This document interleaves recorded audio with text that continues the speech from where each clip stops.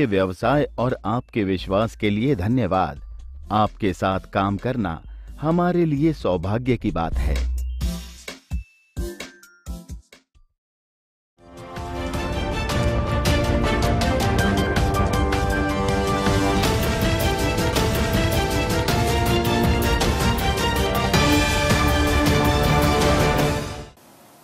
নমস্কার আমার বাংলা সংবাদে আমি অনুষ্কা দাস আপনাদেরকে স্বাগত জানাচ্ছি প্রথমেই সংবাদ শিরোনাম। মিজোরামের মুখ্যমন্ত্রীর উদ্দেশ্যে একটি স্মারকপত্র মিজোরাম সরকারের ডেপুটি রেসিডেন্ট অফিসারের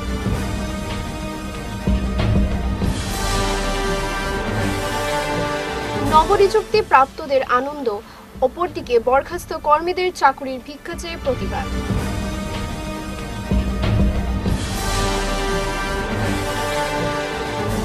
বঙ্গভাষী অসমিয়া নয়, আসামবাসী, বঙ্গভাষী বা বাঙালি হোক, এ রাজ্যের বাঙালিদের পরিচিতি বিডিএ এবারে বিস্তারিত আমার বাংলা সংবাদ।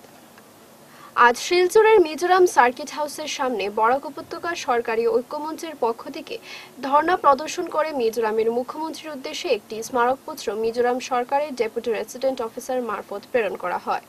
স্মারকপত্রে স্বাক্ষর করেন প্রাক্তন বিধায়ক আতাউর রহমান মাছার ভূঁইয়া, বরাক উপত্যকা বঙ্গ সাহিত্য ও সংস্কৃতি সম্মেলনের কাছাড় জেলা কমিটির সভাপতি Sanjib Deb Laskar food grain merchant অ্যাসোসিয়েশনের সভাপতি প্রণব পাল চৌধুরী, আমরা বাঙালির সাধন পুরকায়স্থ, আকসার উপদেষ্টা অধ্যাপক নিরঞ্জন দত্ত, উনিশে মে উদযাপন কমিটির সভাপতি নিশা শর্মা ও কার্যকরী সভানেত্রী স্বর্ণালী চৌধুরী, ইয়াসির সভাপতি সঞ্জীব রায় শিলচর নাগরিক অধিকার রক্ষা মঞ্চের সাধারণ সম্পাদক প্রাক্তন পৌর commissioner Atanu Bhattacharya, Silchar goods carrier অ্যাসোসিয়েশনের সভাপতি ফারুক আহমেদ, সিআরপিসির সাধারণ সম্পাদক আইনজীবী আব্দুল হাই লস্কর মৈথি চেম্বার অফ কমার্সের সাধারণ সম্পাদক ওকরাম লক্ষ্মীকান্ত সিং, হিউম্যানিটি ফাউন্ডেশনের মিলন উদ্দিন লস্কর, বরাক ডেমোক্রেটিক ইয়থ ফ্রন্টের আবাহক কল্পর্ণব গুপ্ত পিপিটি ওয়াইএফ এর মৃন্ময় কুমার নাথ কাছাড় হিন্দিভাষী ছাত্র পরিষদের দিলীপ সিং বেরেঙ্গাজিপির প্রাক্তন সভাপতি আবুল কালাম আজাদ মজুমদার, বেঙ্গলি ছাত্র যুব সমাজের সভাপতি পান্না রায়, সিআরপিসির কিশোর কুমার ভট্টাচার্য, এমএমডিসির সম্পাদক পুলক সোম ইয়ালালুপ এনজিওর সম্পাদক শ্যামাকান্ত সিংহ, দক্ষিণ শিলচর যুব সমিতির সম্পাদক আশিস আচার্য, রবিন শর্মা, মতিলাল সিংহ মৈথি চেম্বার অফ কমার্সের সভাপতি কে উমেনেন্দ্র সিংহ রাজেশ কুমার সিনহা প্রমুখ। স্মারকপত্রে উল্লেখ করা হয় যে, মিজোরামে দীর্ঘ বছর ধরে বরাক উপত্যকা সহ বিভিন্ন অঞ্চলের যেসব নাগরিক ক্ষুদ্র ব্যবসা করে জীবন নির্বাহ করেন, তাদেরকে কিছুদিন পূর্বে সে রাজ্যের উগ্র প্রাদেশিকতাবাদী সংগঠন ওয়াইএমএ এবং এমজেড পির হুমকির সম্মুখীন হয়ে দোকানপাট বন্ধ করে চলে আসতে হয়েছিল এবং এ ধরনের ঘটনা প্রায়ই ঘটে। তারা এও বলেন যে মিজোরামের জনগণের ভাষা, সংস্কৃতির প্রতি বরাক উপত্যকার জনগণ শ্রদ্ধাশীল। তারা শান্তিপূর্ণভাবে বসবাসে বিশ্বাসী, কিন্তু দুষ্কৃতিকারীদের এ ধরনের আচরণ জনগণের ঐক্যের পরিপন্থী।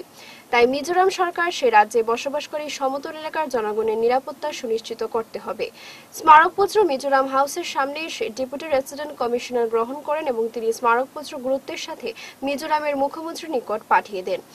ধর্ণা প্রদর্শনকালে বক্তব্য রাখেন সাধন পুরকায়স্থ আতাউর রহমান মাঝার ভূঁইয়া, সঞ্জীব রায় প্রমুখ। তারা ভবিষ্যতে এ ধরনের ঘটনার যাতে পুনরাবৃত্তি না ঘটে সে ব্যাপারে মিজোরাম সরকারকে যথোপযুক্ত ব্যবস্থা গ্রহণের জোরালো দাবি জানান। স্থায়ী নয়, আজকে খুলবে কালকে আবার বন্ধ করবে। আমাদের লোকরা সব সময় অত্যাচারিত হচ্ছে। উনিশশো উনআশি সালে আমাদের এই শিলচরের একজন ইঞ্জিনিয়ার রবীন্দ্র চৌধুরীকে ওরা হত্যা করেছিল, যার প্রতিবাদে শিলচরে আন্দোলন হয়েছে। তারপর চৌরানব্বই সালে সেখানে মেসাকার হয়েছে।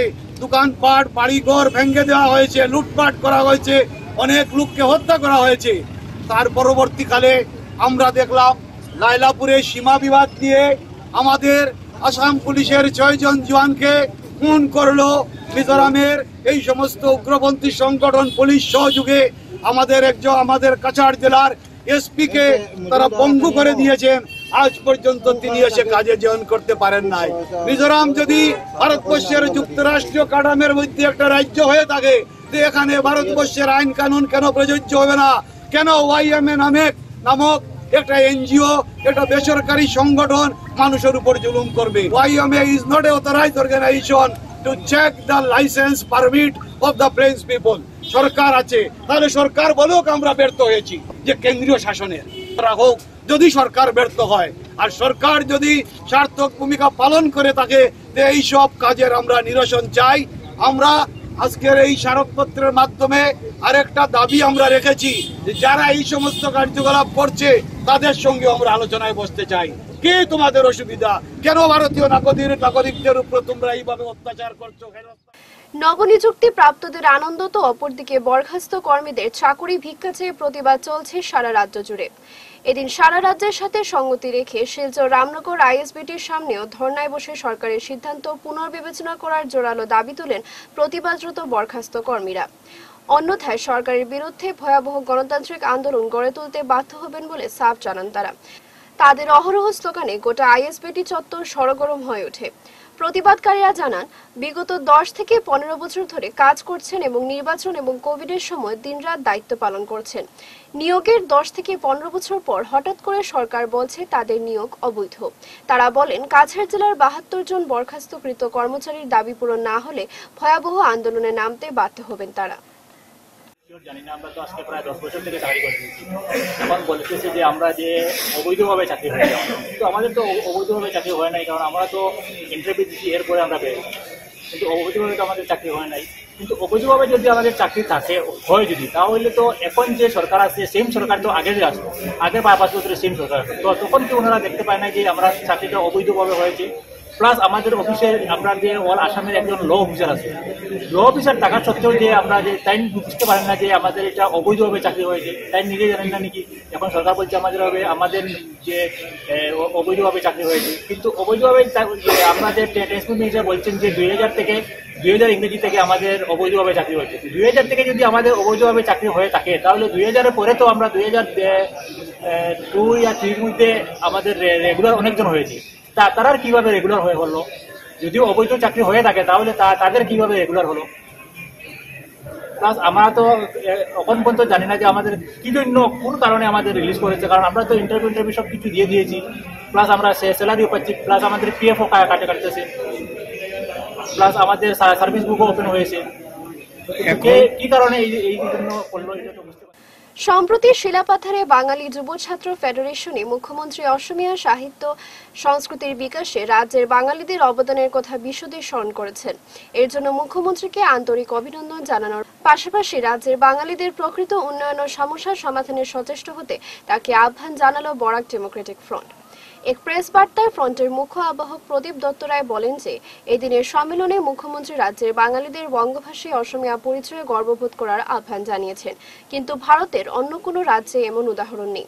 তিনি বলেন, পশ্চিমবঙ্গে যেসব অসমিয়ারা থাকেন, তাদের যদি নিজেদের অসমিয়া ভাষী বাঙালি কিংবা তামিলনাড়ুতে বসবাসকারী বাঙালিদের যদি বাংলা ভাষী তামিল বলে পরিচয় দিতে হয়, তবে এটি একটি হাস্যকর ও সমস্যার বিষয় হতে বাধ্য।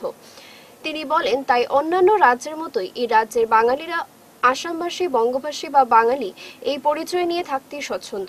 যদি এই ব্যাপারে অন্য কোনো রাজ্যের সমস্যা না হয়, তবে শুধু আসামে এই পরিচয় দিতে হবে কেন? জোর করে তাই পরিচিতিকে বদলানোর চেষ্টা না করাই উচিত বলে এদিন মন্তব্য করেন তিনি।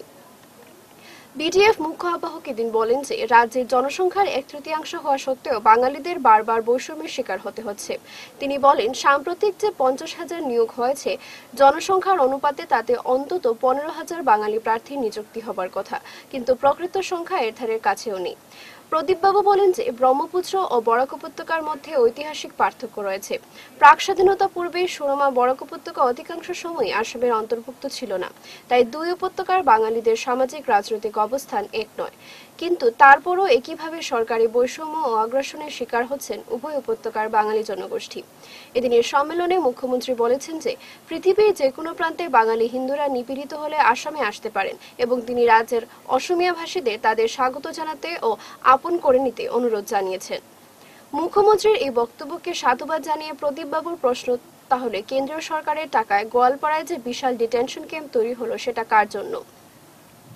এনআরসি তালিকায় যে উনিশ লক্ষের নাম বাদ পড়েছে, তাদের অর্ধেকের বেশি তো বাঙালি হিন্দু। এদের ব্যাপারে সরকার নীরব কেন?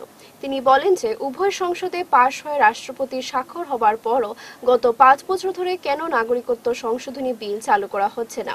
যে বিলকে দেশভাগের শিকার বাঙালি হিন্দুদের রক্ষা কবচ বলে ব্যাপক প্রচার করেছিল বর্তমান সরকার।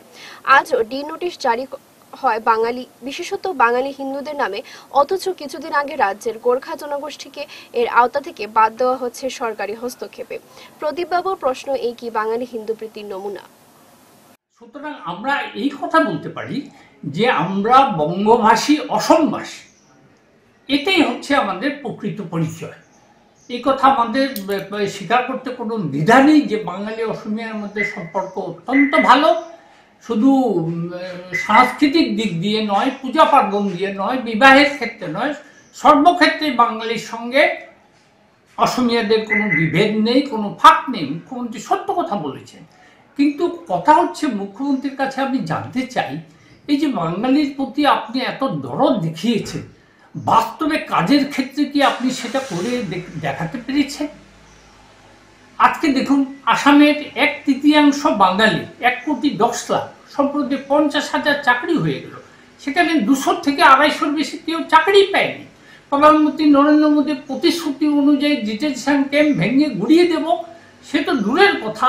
উল্টা কেন্দ্রীয় সরকারের টাকায় এশিয়ার বৃহত্তম ডিটেনশন ক্যাম্প গোয়ালপাড়ায় বানানো হয়েছে এবং সেখানে বাঙালিদের জেলে পুরে রাখা হয়েছে। তাহলে কথার সঙ্গে বাস্তবের কোথায় মিল থাকছে? মুখ্যমন্ত্রীকে আমি সেই কথাই স্মরণ করিয়ে দিতে চাই। এই যে এনআরসি হয়েছে, সেখানেও আজকে হিন্দু, মুসলিম, বাঙালি সবার নাম কাটা গেছে। কা, বাঙালি হিন্দুদের জন্য কা আইন প্রয়োগ করা হয়েছে। লোকসভা, রাজ্যসভায় পাশ হয়েছে, রাষ্ট্রপতি সই হয়েছে, আজ পর্যন্ত সেটাকে কার্যকরী করা সম্ভব হচ্ছে না। অথচ নির্বাচনে গিয়ে, বিভিন্ন রাজ্যে নির্বাচনে গিয়ে প্রচার করা হয়, আসামে কা চালু করা হয়েছে। বিভিন্ন জাতির মানুষকে আমরা স্বাগত জানাচ্ছি। নিখোঁজের তিন দিনের পর রামনগর বাইপাস থেকে অচেতন অবস্থায় উদ্ধার মেহেরপুর পাঁচগড়ির হোসেন উদ্দিন। অভিযুক্তদের বারো ঘণ্টার মধ্যে গ্রেফতারের দাবি জানান পরিবারের লোকেরা। উল্লেখ্য, গত উনত্রিশে মে সোমবার দুপুরে শিলচর পাঁচগড়ির বাসিন্দা হোসেন উদ্দিন বরভুইয়া নামের এক ব্যক্তি ঘর থেকে বের হয়ে রামনগর যাওয়ার পথে নিখোঁজ হয়ে যান। পরিবারের লোকেরা অনেক খোঁজাখুঁজি করার পরও তারা কোনো সন্ধান না পেয়ে শিলচর রাঙ্গিরখাড়ি আউটপোস্টে একটি নিখোঁজ সংক্রান্ত মামলা দায়ের করেন এবং বিভিন্ন সংবাদ মাধ্যমে সহযোগিতা চেয়েছিলেন। বুধবার তিন দিন পর রাত সাড়ে আটটা হাত পা বেঁধে অচেতন অবস্থায় শিলচর রামনগর বাইপাস সংলগ্ন থেকে উদ্ধার করেন তার পরিবারের লোকেরা। বৃহস্পতিবার তার পরিবারের লোকেরা এক সাংবাদিক সম্মেলন অভিযোগ করে বলেন হোসেন উদ্দিনের বিআই বাবুল উদ্দিন লস্কর এবং পায়েল উদ্দিন লস্কর এই অপহরণ কাণ্ডের সাথে জড়িত। অপহরণের পর এই বিষয়ে তাদের বিরুদ্ধে মামলা করা হয়েছিল, তাই তারা অবস্থা বেগতিক দেখে হাত পা বাঁধা অবস্থায় রাস্তায় ফেলে চলে রেখে গিয়েছিলেন। আমার ভাই হোসেনুদ্দিন বড়বইয়া কালকে গত উনত্রিশ তারিখ সোমবার বিকাল দুইটার সময় বাড়িতে বাইরে যাওয়ার পরে নিখোঁজ হয়েছে। নিখোঁজ হওয়ার পরে আমরা কোনো ওকে আমরা যখন পুলিশ প্রশাসনের কাছে আবার এফআইআর করছি বা মিডিয়াতে আমরা আবার বিস্তারিতটা মানে ফার্স্ট টু লাস্ট পর্যন্ত কীভাবে কি ঘটনা হয়েছে কই থেকে হয়েছে কোন জায়গা থেকে মানে জিনিসটা বাসি আইছে এসব আমরা তুলিয়া দিছি। দেওয়ার পরে দেখছেন যে এখন আর কোনো লাইন নাই বাইরে আনিয়া রাত্রে বাইপাসের কিনারে ফেলাইয়া গেছে। হম পিছন দিকে বান্ধা পিছন পিছন দিকে বান্ধা মুখের মাঝে প্লাস্টার লাগাই মুখের ভিতরে চুলা এরপরে চোখ বান্ধা পা বান্ধা অবস্থায় মানে পনেরো ষোলো ফুট নিচে থেকে উপরে থেকে নিচে ডিল মারি ফেলাইছে। যে যে দুইটা বাবুল উদ্দিন লস্কর আর পায়েল উদ্দিন লস্কর। আমার ভাইয়ে এই দুইজনের নাম কইছেন। তাই যখন অজ্ঞান আসলা তখন যখন জ্ঞান ফিরিয়ে যে দুই মানুষে কিডন্যাপিং করে রাসলা এই দুই মানুষে খালি এই দুই মানুষের নাম লইছেন। এফআইআর মোতাবিক এই মানে কিডন্যাপিং এরাও। আমরা আইনের যে রেফার হিসাবে আমরা আইনের আশ্রয় আছে। বা আইন মোতাবিক আমরা যতটুকু করা লাগে, আমরা আছি। আর আশা বিশ্বাস আমরা যে আইনে আমরা আমরা বাই ন্যায়টা পাইমু। এএসটিসি ঠিকাভিত্তিক কর্মচারীদের চাকরি পুনর্বহাল করার দাবিতে জেলা শাসককে স্মারকলিপি প্রদান করল সিআইটিইউ বৃহস্পতিবার কাছাড়ে জেলা শাসককে দাবি সম্মিলিত এক স্মারকলিপি প্রদান করল সিআইটিইউ আইটিআই পাশ করে এমপ্লয়মেন্ট এক্সচেঞ্জের সকল নথিপত্র দিয়ে চাকরি করার আট থেকে দশ বছর পর হঠাৎ করে এসটিসি ঠিকাভিত্তিক কর্মচারীদের বরখাস্ত কেন প্রশ্ন শ্রমিক সংগঠনের। সংবাদ মাধ্যমের প্রতিনিধিদের সঙ্গে কথা বলতে গিয়ে সিআইটিউর তরফে সুপ্রিয় ভট্টাচার্য জানান এএসটিসির অস্থায়ী কর্মচারীদের চাকরি স্থায়ী না করে হঠাৎ এক কথায় তাদের ছাঁটাই করার বিষয়টি সরকারের স্বৈরতান্ত্রিক মনোভাব বহিঃপ্রকাশ হয়েছে বলে মন্তব্য করেছেন তিনি। বর্তমানে ছাঁটাই করা কর্মচারীদের পরিবার প্রতিপালন এক বিশাল প্রশ্নচিহ্নের মুখে এসে দাঁড়িয়েছে। ন্যূনতম মানবিকতা বোধ যদি থাকতো, তাহলে এদের জীবন জীবিকা নিয়ে এ ধরনের ছেলেখেলা সরকার কোনোদিনই করতেন না বলে জানান তিনি। এএসটিসির অস্থায়ী কর্মচারীদের চাকরি পুনর্বহাল করার পাশাপাশি তাদের চাকরি স্থায়ীকরণের দাবিতে কাছাড়ের জেলা শাসককে একটি স্মারকলিপি প্রদান করেছেন তারা। অতি সত্বর তাদের দাবি পূরণ না হলে আগামীতে আন্দোলন আরও বৃহৎ আকার ধারণ করবে বলেও এদিন জানিয়েছেন সিআইটিউর কর্মকর্তারা।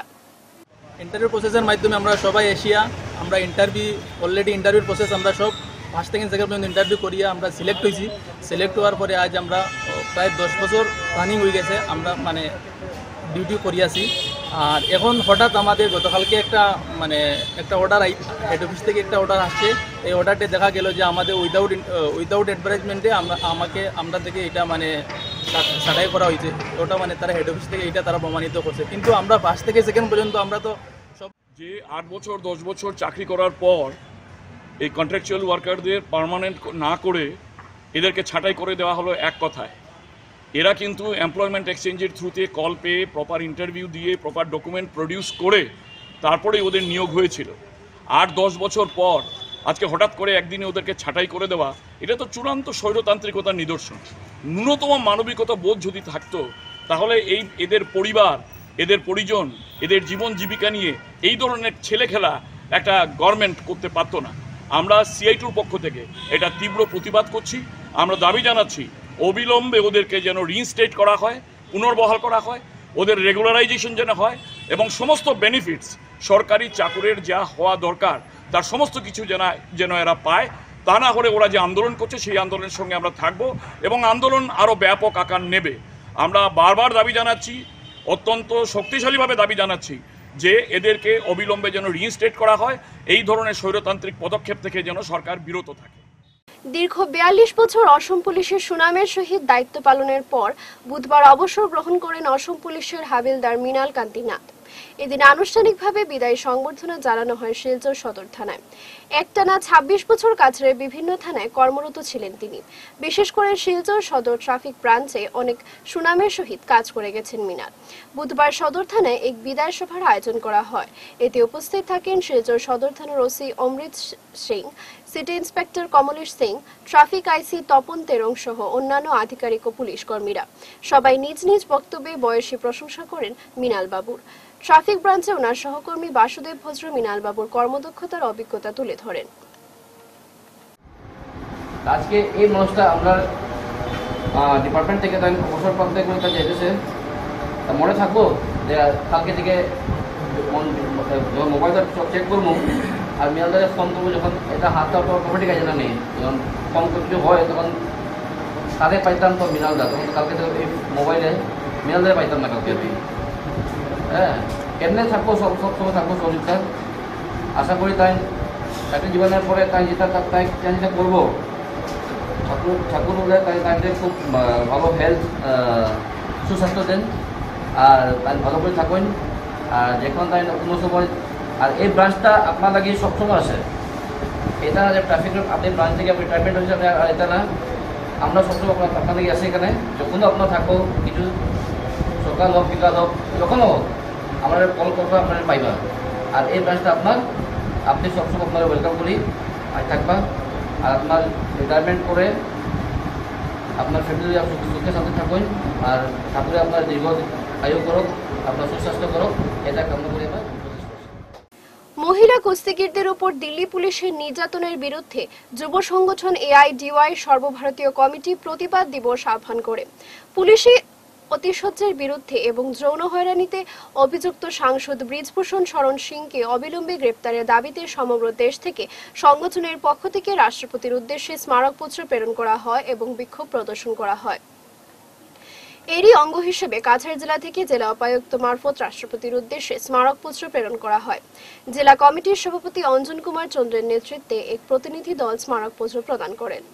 বন্ধুগণ, আপনারা জানেন ভারতবর্ষের মহিলা কুস্তিগিরিরা, যারা দেশের হয়ে খেলে অলিম্পিক এবং অন্যান্য গেমসগুলোতে খেলে যে স্বর্ণপদক, বিভিন্ন পদক লাভ করেছে, তাদের প্রতি বিজেপি সাংসদ ব্রিজভূষণ শরণ সিং যে যৌন হয়রানি করেছে, তার বিরুদ্ধে গত এক মাস ধরে দিল্লির যন্তর মন্তরের সামনে ওরা যে আন্দোলন সংগঠিত করেছে এবং গত আঠাইশ মে যে আন্দোলন মহাপঞ্চায়েত করতে হয়েছিল তাতে পুলিশের জাতিসহ্য এবং অনেককে গ্রেপ্তার করে।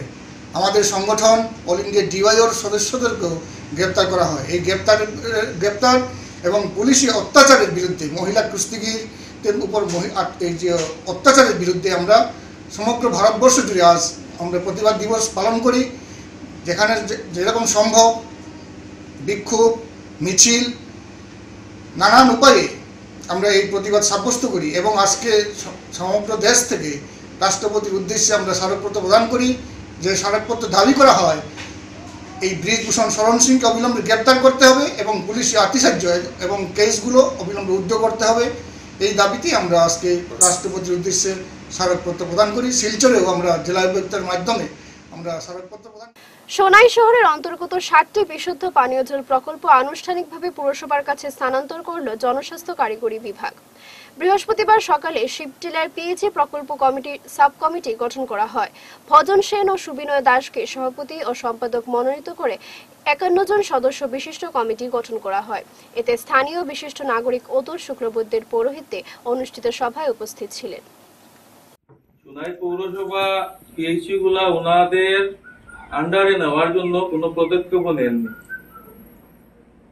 যাই হোক, আমরা যখন ইলেক্টেড হওয়ার পর পৌরসভাতে গিয়েছিলাম, তখন আমাদের পুরো ওয়ার্ডের ওয়ার্ড কমিশনার এগারো জন ওয়ার্ড কমিশনারের একটা দায়িত্ব ছিল, এই যে পৌরসভার আন্ডারে যে যে পিএইচি আছে এই পিএইচি গুলো আমাদের পৌরসভার আন্ডারে নিয়ে, এই পিএইচি গুলাকে কীভাবে সুন্দর করে, সুস্থ করে মানুষকে জল বিতরণ করা যায়? যাই হোক, অনেক চেষ্টা করার পর পিএইচি ডিপার্টমেন্ট আমাদেরকে হ্যান্ড ওভার করেছে আগামী বিগত এক দেড় মাস আগে। তো আমাদের ফার্স্ট যেটা সাব কমিটি আমরা একটা সেন্ট্রাল কমিটি বানিয়েছি, যেখানে আমাদের এক্সিকিউটিভ অফিসার মেম্বার সেক্রেটারি আছেন আরও তিনজন ওয়ার্ড কমিশনার আছেন এবং আমি এই কমিটির চেয়ারম্যান এবং বাদবাকি যে আমাদের ষাটটা পিএইচি আছে এই পিএইচিতে আমরা প্রত্যেক পিএইচিতে একটা করে সাব কমিটি বানাবো এবং এই সাব কমিটি সম্পূর্ণ মনিটরিং এই পিএইচি মনিটরিং এর দায়িত্বে থাকবে। কমপ্লিটলি দায়িত্বে থাকবে। কীভাবে পিএইচি চলবে কীভাবে পানি পিএইচি তে আসবে পূর্ণ দায়িত্ব এই পিএইচি থাকবে। শেষ করার আগে বিশেষ বিশেষ খবর আরও একবার। মিজোরামের মুখ্যমন্ত্রীর উদ্দেশ্যে একটি স্মারকপত্র মিজোরাম সরকারের ডেপুটি রেসিডেন্ট অফিসারের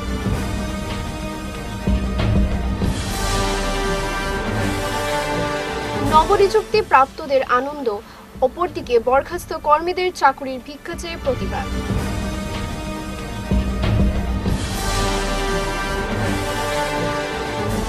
বঙ্গভাষী অসমিয়া নয়, আসামবাসী, বঙ্গভাষী বা বাঙালি হোক, এ রাজ্যের বাঙালিদের পরিচিতি বিটিএ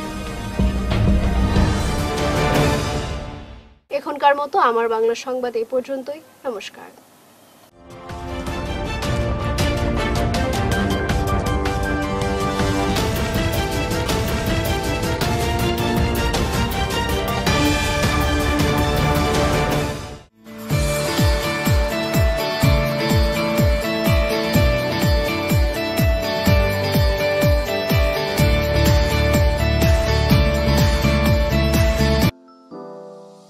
आपके व्यवसाय और आपके विश्वास के लिए धन्यवाद। आपके साथ काम करना हमारे लिए सौभाग्य की बात है।